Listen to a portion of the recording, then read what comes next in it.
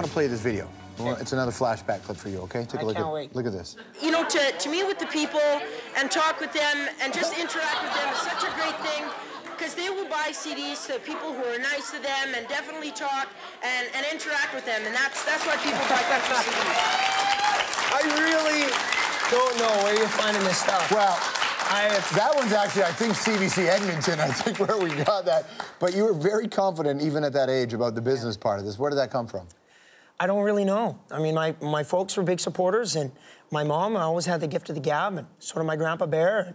But uh, I mean, I, I don't know. I just I really don't know where that came from. Okay, And nobody else in my, my family ever played really music at all. So I, I love, I follow you on Twitter. You're also on Instagram. Uh, and whenever you post hunting pictures on Instagram, a whole bunch of people like it and a whole bunch of people don't like oh it. Oh, yeah, I get in trouble uh, Yeah. for that. But um, I mean, it's I come from a hunting background, and I mean, growing up on a cattle ranch, I was.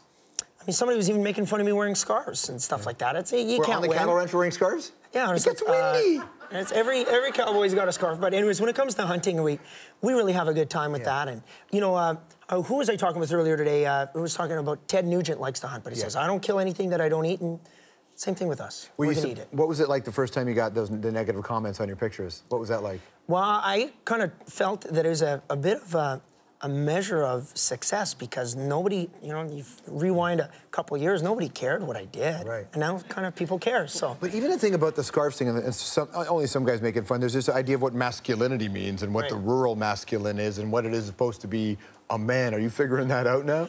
Well, I am. I mean, it's my wife's been a stylist for many years, and she, you know, uh, she and I really have a, I think, a good thing going on with trying to be different in style. And now that I'm at a point where I can do that, I'm, I'm happy to do it because you still keep some country elements, but you know, you don't want to alienate the urban fans, but you don't want to alienate the country fans. So we, we try to find a happy medium.